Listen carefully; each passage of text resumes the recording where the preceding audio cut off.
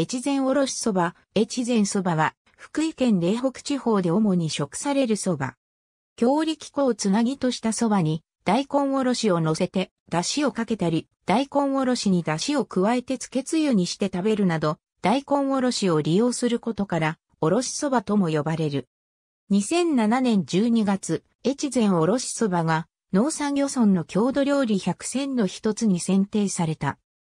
越前そばは、そばの実を、そば殻まで引き込んでそば粉とするため、より風味が強く黒っぽいそばとなり、このそばを強力粉をつなぎに茹で上げた冷水にさらす。そばは、深鉢などに盛って、濃いめのつゆを直接かけたり、漬け汁にして食べる。一般的なそばのように、陶器であっても、つゆは冷たいものを用いる。具には特徴的な辛味大根の大根おろしを使用しており、この他に刻みネギ、鰹節、刻み海苔などをかけることもある。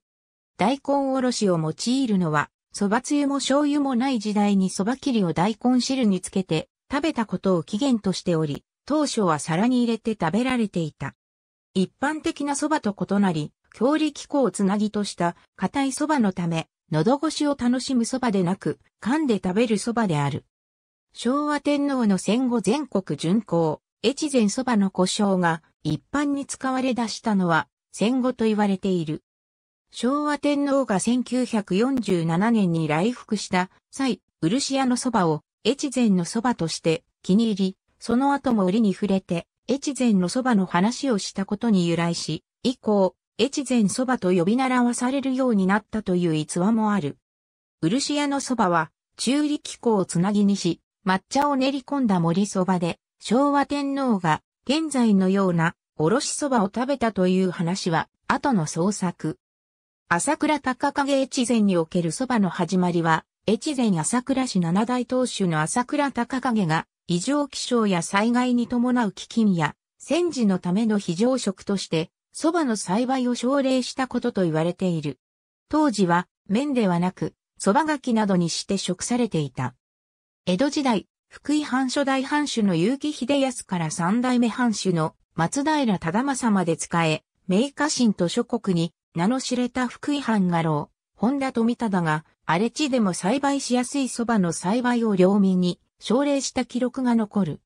さらに所持に明るかった不正は、この蕎麦に大根のすりおろしをかけた蕎麦を、お抱えの医者や蕎麦打ちに作らせた。これが、越前おろし蕎麦の始まりの説の一つとされている。この他に、信濃守護職小笠原氏の支流松小笠原氏の小笠原貞信が元禄4年に、越前国勝山藩に違法された折、信濃より優れた蕎麦の種を持ち込み、それが越前全土に広まったとする新州由来説もある。ただし、小笠原貞信は、美濃の高木氏からの養子であり、松尾小笠原氏が信濃を領していたのは1590年以前である。また、この新州由来説の中には、松平忠政は、福井藩主になる前は、信濃川中島藩を主だったこともあり、越前のそばの松平忠政に関連づける説もある。